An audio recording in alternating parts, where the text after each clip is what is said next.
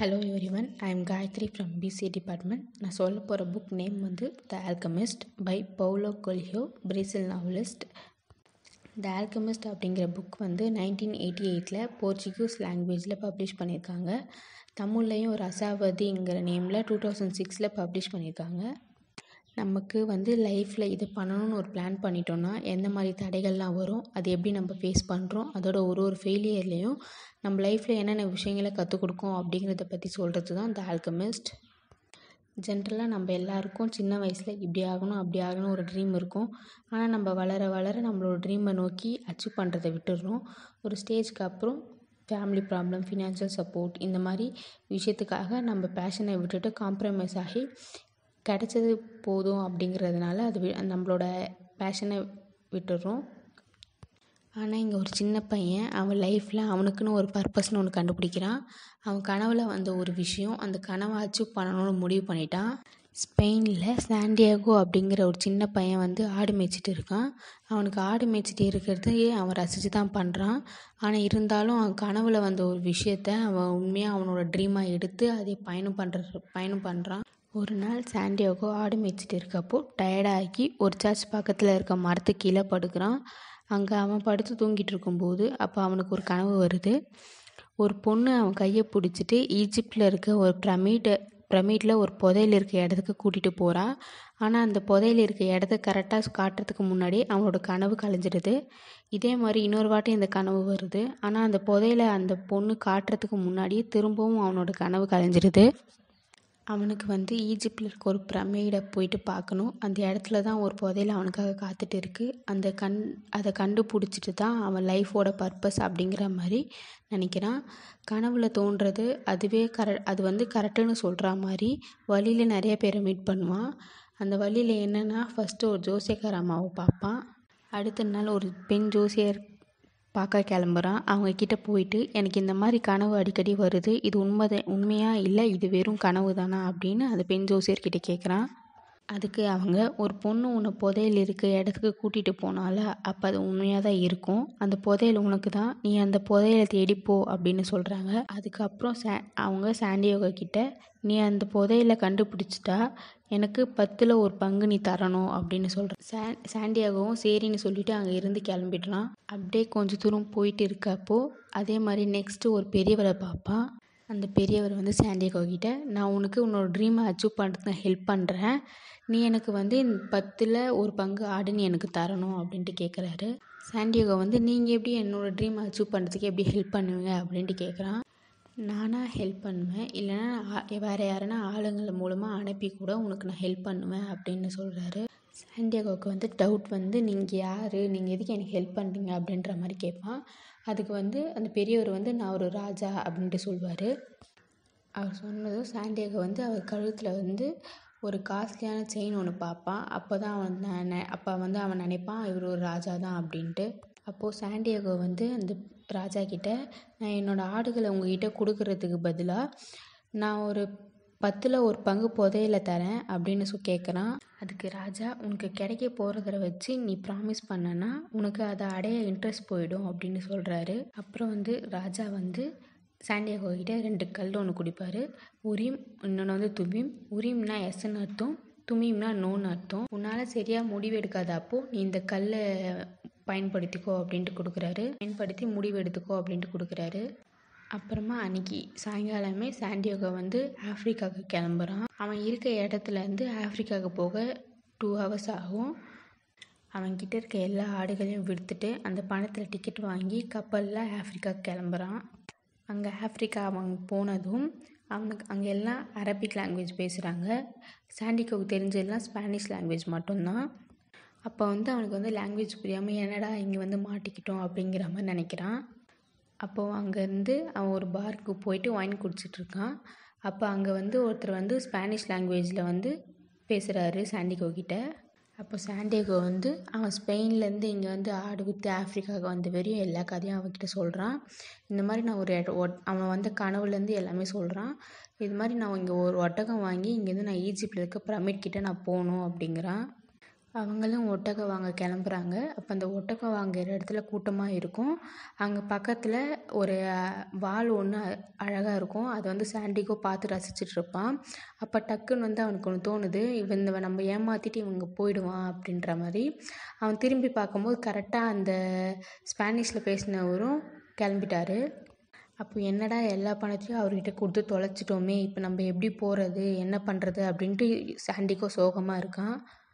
அப்போது எதிரில் அங்கே இருக்க ஒரு கிறிஸ்டல் ஷாப் பார்க்குறான் அங்கே அப்போ வந்து அப்போ வந்து அந்த கிறிஸ்டல் ஷாப் ஓனர்கிட்ட நான் உங்கள் கண்ணாடி கடை கண்ணாடியை க்ளீன் பண்ணி தரேன். எனக்கு சாப்பிட எதனா வாங்கி கொடுங்க அப்படின்ட்டு கேட்குறான் அவனும் கண்ணாடி க்ளீன் பண்ணிவிட்டு ரெண்டு பேரும் ஒன்றா சாப்பிட போகிறாங்க அப்போ வந்து அவன் எல்லா ஸ்டோரியும் அப்படியே சொல்கிறான் ஸ்பெயின்லேருந்து இங்கே வந்து பணம் ஏமாந்த வரையும் அப்போது அவர்கிட்ட வேலை கேட்குறான் எனக்கு நான் ஒரு நாள் வேலை செய்கிறேன் எனக்கு ஸ்பே ஸ்பெயினுக்கு போகிற அளவுக்கு எனக்கு பணம் கொடுங்க அப்படின்ட்டு கேட்குறான் அதுக்கு அந்த ஓனர் நீ ஒன் இயர் வேலை பார்த்தாலும் என்னால் அவ்வளோ காசு கொடுக்க முடியாது அப்படின்ட்டு சொல்கிறாரு சரின்னு சாண்டிகோ அந்த கிறிஸ்டல் ஷாப்லேயே வேலை பார்ப்பான். வேலை பார்த்துட்டு இருக்கும் போதே அந்த கிறிஸ்டல் ஷாப்புக்கு நிறைய என்னென்ன டெவலப்மெண்ட் பண்ணலாம் அப்படின்ற மாதிரி ஐடியாஸ் கொடுப்பான். அந்த கிறிஸ்டல் ஷாப்பும் ஓரளவுக்கு நல்லா ஃபேமஸ் ஆகிடும் அந்த கடைக்கு லாபமும் நல்லா வரும்.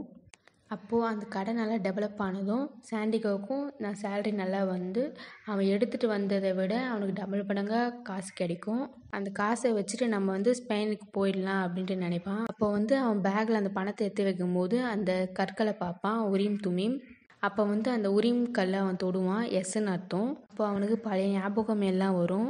நம்ம எதுக்கு நம்ம திரும்பி ஸ்பெயினுக்கு போகணும்? நம்ம வந்து ஈஜிப்ட் போகலாம் நம்ம ட்ரீமை வந்து நம்ம அச்சீவ் பண்ணலாம் அப்படின்ட்டு நினைப்பான். நம்ம அந்த புதையலை தேடி போகலாம் அப்படின்ட்டு முடிவெடுப்பான் சாண்டிகோ வேலை பார்க்குற கடையில் ஒரு ஆள் அடிக்கடி பாலைவனம் போவார் அப்படின்ட்டு வந்து சொல்லுவாங்க ஸோ நம்ம அவங்கக்கிட்ட ஹெல்ப் கேட்டு பாலைவனத்துக்கு போகலாம். அங்கே போயிட்டு பிரமிடை கண்டுபிடிக்கலாம் அப்படின்னு சொல்கிறான் மறுநாள் அவரோட அவர் கூட ஒட்டகத்தை எடுத்து பாலைவனம் போக வெயிட் பண்ணிட்டு இருப்பான்.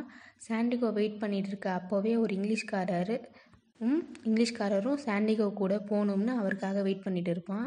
சாண்டிகோ அந்த இங்கிலீஷ்காரர்கிட்ட நீங்கள் ஏன் பாலைவனுக்கு போகிறீங்க அப்படின்ட்டு கேட்பான். இங்கிலீஷ்காரர் நான் இந்த உலகத்தோட மொழியை கற்றுக்கிறதுக்காக ஆல்கமிஸ்ட்னு ஒரு த ஒருத்தரை தேடி போகிறேன் அப்படின்னு சொல்கிறாரு நம்ம ஒரு லாங்குவேஜில் பேஸ் பேசுகிற மாதிரி இந்த உலகமும் நம்மக்கிட்ட ஒரு லாங்குவேஜில் பேசும். அந்த லாங்குவேஜை கற்றுக்கிறதுக்காக தான் நான் ஆல்கெமிஸ்ட்டை பார்க்க போகிறேன் அப்படின்னு சாண்டிகோ கிட்ட சொல்கிறாரு இவங்க பேசிகிட்டு இருக்கும்போதே ஒருத்தர் வந்து கேரவன் ரெடி அப்படின்னு சொல்கிறாரு அப்படின்னா குரூப்பாக ஒட்டகத்தை எடுத்துகிட்டு பாலைவனம் போகிறது தான் கேரவன் அப்படின்னு சொல்லுவாங்க பாலைவனத்தை நோக்கி பயணம் போவாங்க. அப்போ வந்து போக போக ரொம்ப அனல் காற்று வீசும். அப்போ வந்து அவங்க கிட்ட இருக்க தண்ணியை ரொம்ப கம்மியாக குடித்து குடிச்சிட்டு போவாங்க.